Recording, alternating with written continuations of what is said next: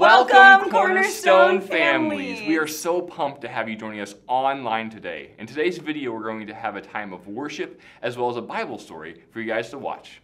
And afterwards, you can check out our Cornerstone Kids Facebook page to find the parent guides for today's lesson. Make sure you gather as a family and go through those activities and questions together. Yeah, now let's hop into worship.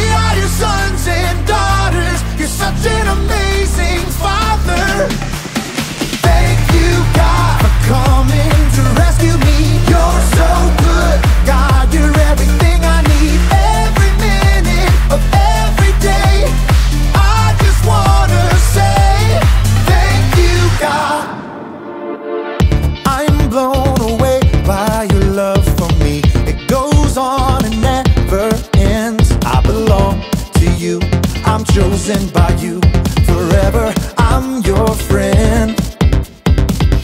You'll always be right here with me. I'm so thankful for your love. No matter what I do, I know this is true.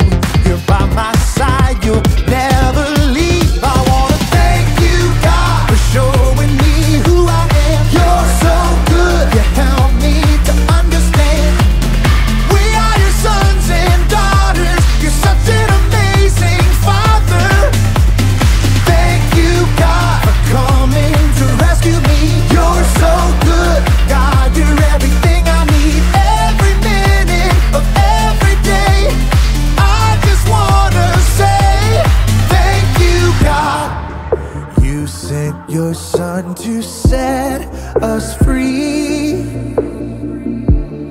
For your love and kindness, I will sing.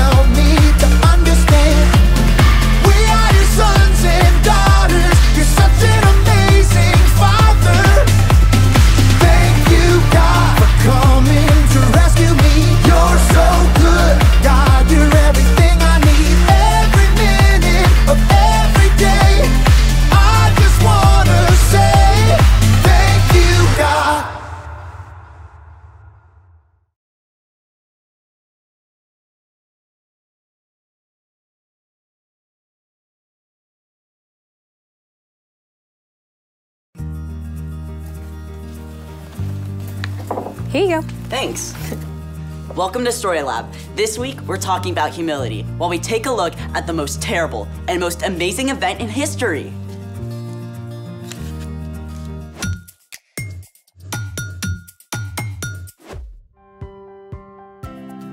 Hey, I'm Skylar. And I'm Sebastian. We're talking about humility, which is putting others first by giving up what you think you deserve. And we're also celebrating the most amazing example of humility ever. Easter! How are you celebrating? I practice my crafty skills.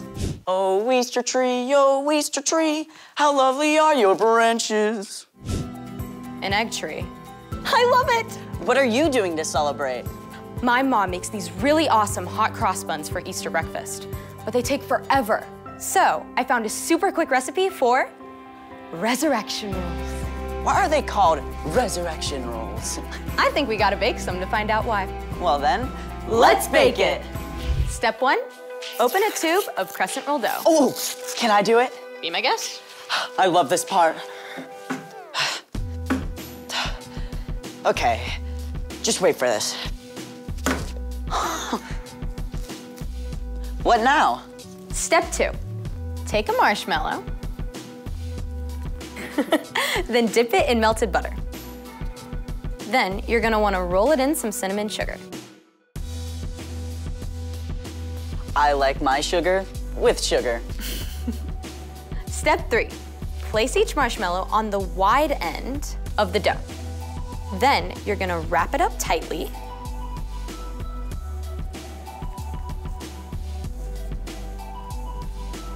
Then tuck in the ends.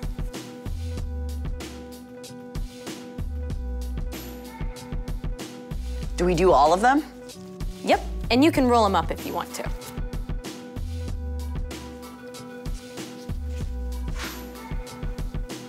That's it?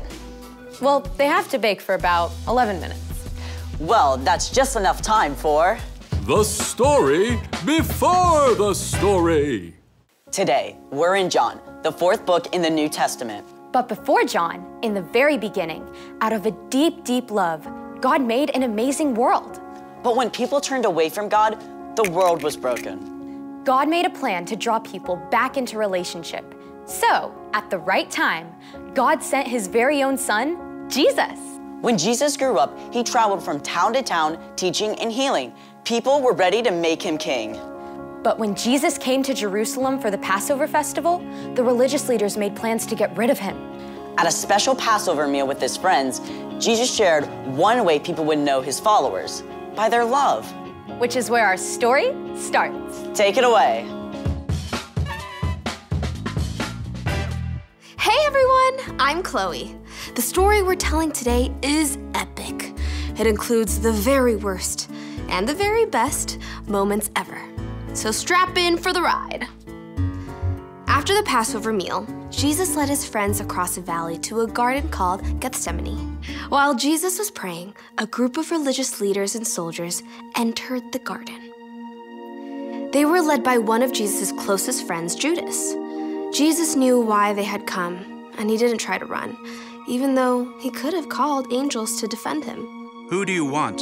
Jesus of Nazareth. I am he. Jesus actually allowed the soldiers to arrest him. Terrified, his friends ran away or followed at a distance. Even Peter, who had promised he would rather die than desert Jesus. Jesus was brought to stand before the father in law of the high priest, and then Caiaphas, the high priest himself. Witnesses told lies about him. Aren't you going to answer? Tell us if you are the Messiah, the Son of God. You have said so.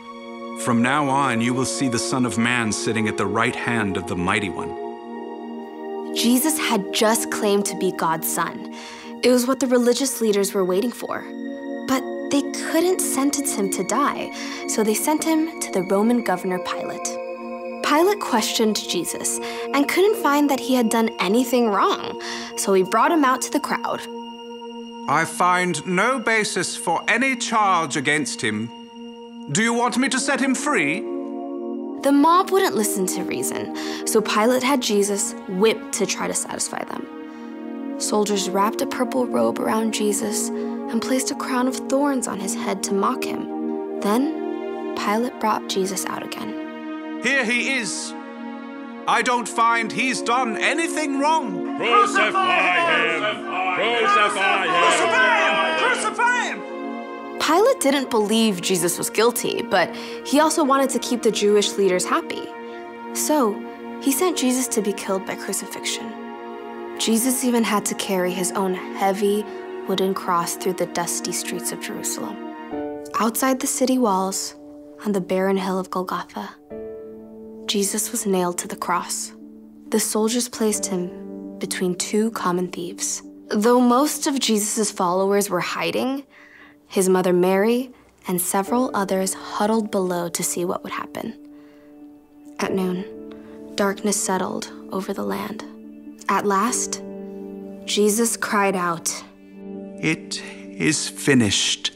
Then he bowed his head and died. The earth shook. Rocks split wide open. It was the deepest, darkest moment the world has ever known. God's very own son had chosen to give up his life. A follower of Jesus named Joseph from Arimathea took Jesus' body and laid it in his own tomb cut out of rock. A heavy stone was rolled across the entrance. Through the darkness of Friday and Saturday, Jesus' friends hid out, afraid the religious leaders might come for them too.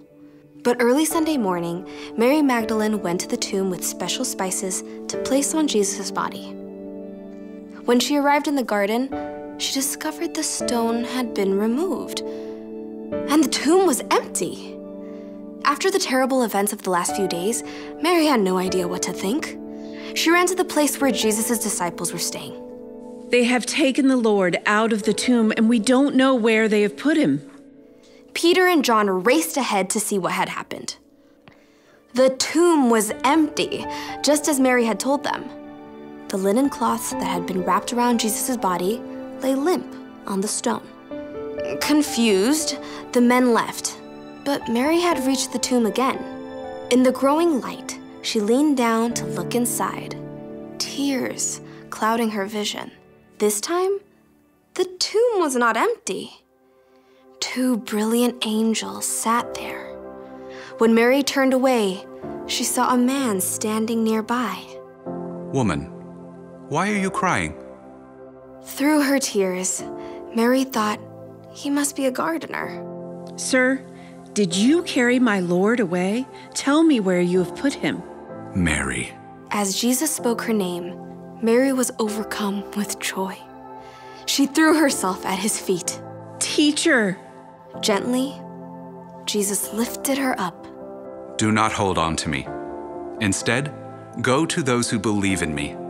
Tell them I am ascending to my Father and your Father, to my God and your God. All the darkness of the last few days was swept away. Mary rushed to find Jesus' friends. I have seen the Lord. Jesus' return to life doesn't just mean that he was alive again. It means we don't have to be afraid of death anymore. It means that everything wrong will one day be made right again. It means that anyone who believes in and follows Jesus can have life forever with God. The end. Now that is a story. With an incredible ending. So, what's our part in the story? It's so important to really look at what Jesus did. He's God's son, and yet he chose to become a human and walk here on earth with us. He experienced everything we do joy and sorrow and pain and temptation, yet he never did anything wrong. And then he chose to give up his life.